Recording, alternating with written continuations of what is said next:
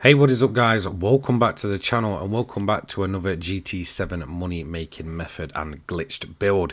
Now this is thanks to Radhi once again who's absolutely come out with another banger of a car in terms of dropping them under 600 pp for the Tokyo grind. This one is going to be using the Dodge Charger Hellcat which is an absolutely awesome car once you've got this tuned down. So this thing's putting out nearly a thousand brake horsepower and the only downside I've noticed is that once run with assist the tyre weight is a lot lot higher than any of the other builds. However it's still very usable.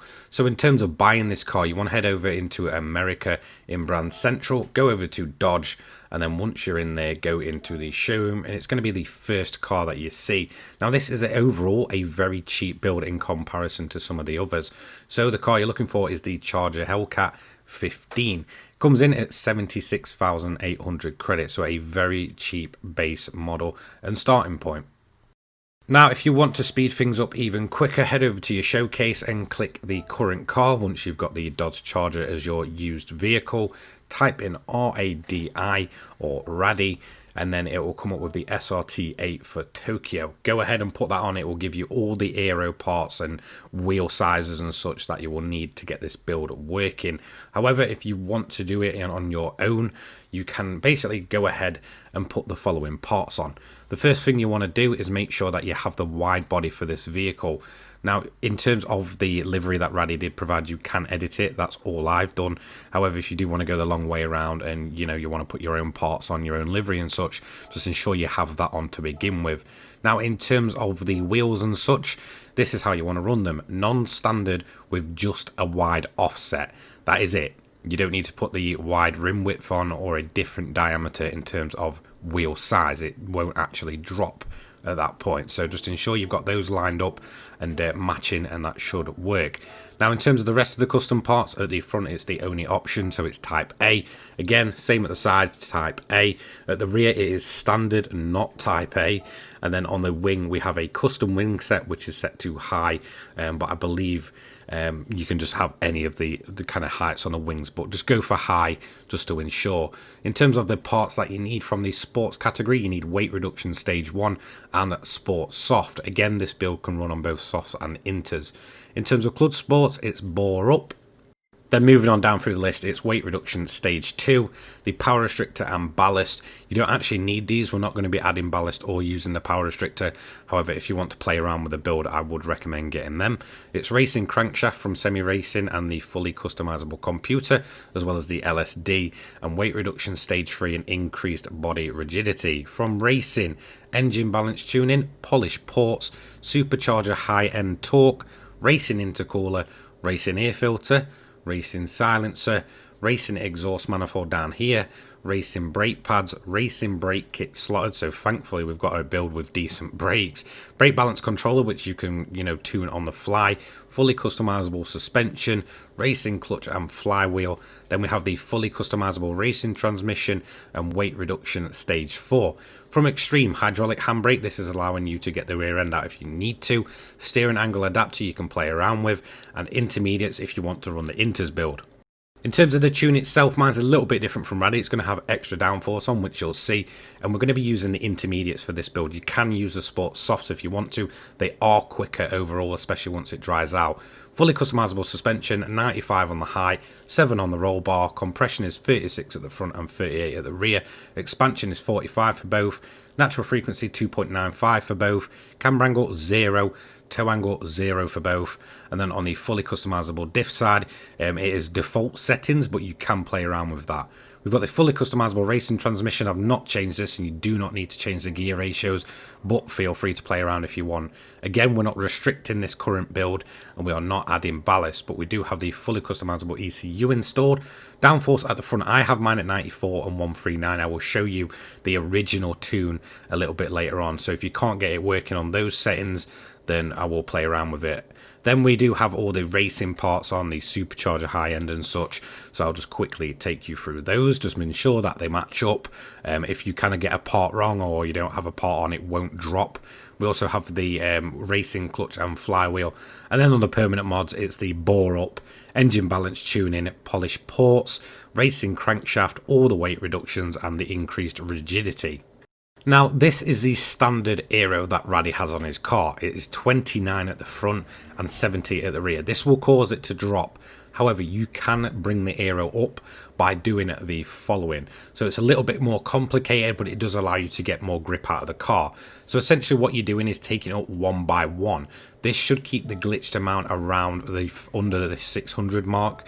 So essentially what you can do is just bring it up till you get to a specific limit and then you cannot go ahead and kind of, you know, put it up even more. So you will hit a kind of brick wall in a sense. But if you do this, this does allow you to get extra aero. However, if you don't want to, go with the original settings that are shown in the video, especially if my final settings don't work. So as you can see, eventually we do manage to get it up to the limit, which was, um, I believe, about 94 at the front and 139 at the rear. So that was my limit. If those, those don't work out the box, feel free to just either use Radhi's less downforce setup or bring it up bit by bit. In terms of the event, it's obviously going to be in Asia and then go over to Tokyo Expressway, head over to the right, and it's the World Touring Car 600, the highest paying event for 12 laps. So how is this car to drive? You know, is it any good? Now, the only thing I've really noticed in terms of a downside for this car is actually that it requires you to run quite a lot of assists. If you don't run it with any assists, which is what I usually do, it's very, very sketchy, especially in the opening laps in the wet. It's definitely no fun to drive with no assists at that point. Now, in terms of your clean race bonus and such, again, because this is a launch car, it was in the game from launch, um, it's very, very easy to basically keep that clean race bonus. Just do not hit the AI, just be extra careful. You should have enough power to basically get past them um, by turn one. In terms of overall difficulty, I highly recommend running it on hard difficulty. This will reduce the amount of times you will lap the cars ahead of you. You know, the more time you spend in lapping them and the more time you're stuck in traffic, it will absolutely destroy your time, which I will show you in my strategy that I ran for this car. The only downside to this is just the tyre wear is rather quite high, but however, I feel like that was down to the assist. After lap kind of four, you can really turn the assist down and get a much better drive. So let's jump straight into the strategy. So we do have the traction control and the um, kind of assist all turned on. This is the best way to get through that opening lap. This is a very sketchy car in the wet. In terms of your power, you want to keep it at fuel mix 1 all the way to the end of the straight. This will give you maximum engine output and allow you to hit much higher top speeds than kind of nerfing it. Essentially what you're doing here is ensuring that you get in the lead by turn 1. At this point, you can ride the wall. There's no reason not to. You won't get penalised for it. I will actually show you a little bit later on where the clean race bonus can also be lost. So just be mindful of that. So yes, lap one, I fully recommend just ride the walls, just do it. At the end of the day, you're in the single player portion of the game. You are not hurting anyone. You are not going and doing this in a multiplayer lobby. You know, at that point, I'd say don't be that guy. But look, you're in the single player the portion of the game. You're just trying to grind money. You're just trying to have fun, try out more wacky and weird glitch builds. So, in all honesty, just drive it like you stole it, really. So the only other place that you can really risk losing your clean race bonus in terms of Tokyo and these kind of pre-update 1.27 cars is here at the last hairpin. Now do not hit the cones and do not cut the line on either the inside or the outside. If you do that, kiss your clean race bonus goodbye. So I'd honestly fully recommend even later on when you get that to that little 200 board begin to brake and bring the car down nice and slowly you want to basically just be mindful of those corner uh, of that last hairpin because that is where your clean race bonus will be absolutely destroyed if you are not careful also, just a note, I forgot to say earlier on in the video, but once you've got past turn 1, turn the engine mode to 6. This will reduce the amount of wheel spin you get. However, once you get to lap 4, the track is going to be basically at dry tyres time. So this is where the Inters and the Sports Soft really do cross over. So this is where the Inters are going to be weaker and way more, whereas the Sports Softs are just going to be overall a much quicker tyre. At this point, I fully recommend just going to fuel mix free and begin to short shift around the track. This will keep your grip, but it's also as good as running a fuel mix 6 in terms of, you know, saving fuel. So the tyre wear was actually really, really poor in this build. However, I do feel like that was due to me not turning the assists off. I completely forgot to. Um, so after lap kind of three, really, you can start bringing the assist down. At this point, you want to put a new set of tyres on.